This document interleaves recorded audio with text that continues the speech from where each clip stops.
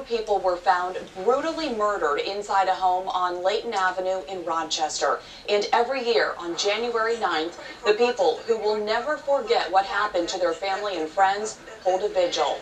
Michael Royal, his fiancee, Jennifer Leisure, Lachelle Powell, and Michael Adams were found bound in the attic, their bodies set on fire.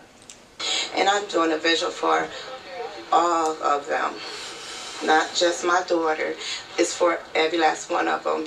Y'all said it was four people that passed on. I say five because Jennifer had, she was pregnant. So it's five spirits that went on. No one has been arrested for this crime, but family members are hopeful someone who knows what happened will come forward.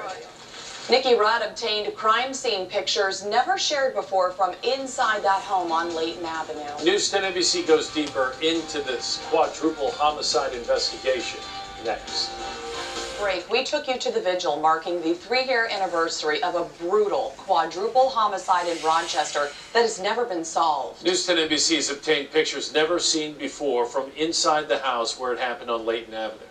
Tonight, News 10 NBC's Nikki Rudd takes us inside the evidence. It's an unspeakable crime. Four people found tied up in an attic, their mouths covered in duct tape, murdered. To this day, no credible leads have come in to find the killer.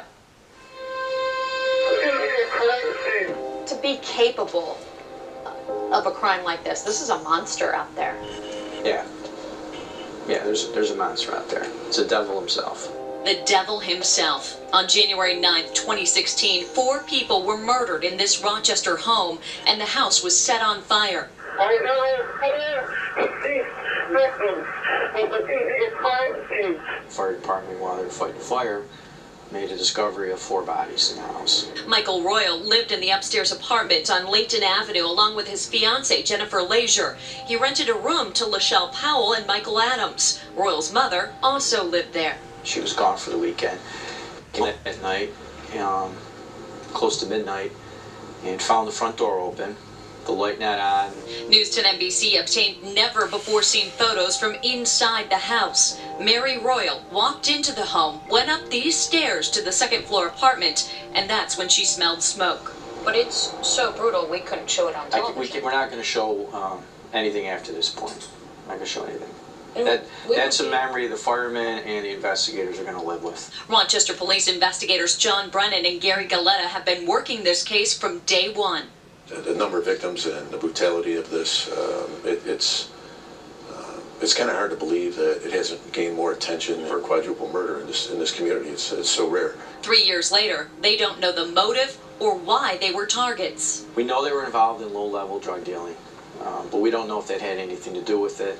Investigators believe more than one person was involved and the murders were brutal. It's a lot harder to you know physically kill somebody than it is to uh, you know just shoot them from a distance. You know, it's a very personal thing when you when you do it like this.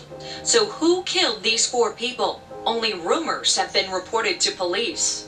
We need help from somebody out there that has direct knowledge, that's going to be brave enough and have the courage to come forward. Investigators say they will protect anyone who comes forward and they won't give up on solving this case. We want them bad. I mean, if we find out hmm. credible information who did this, they're done. We're, we'll hunt them down. We're going after them.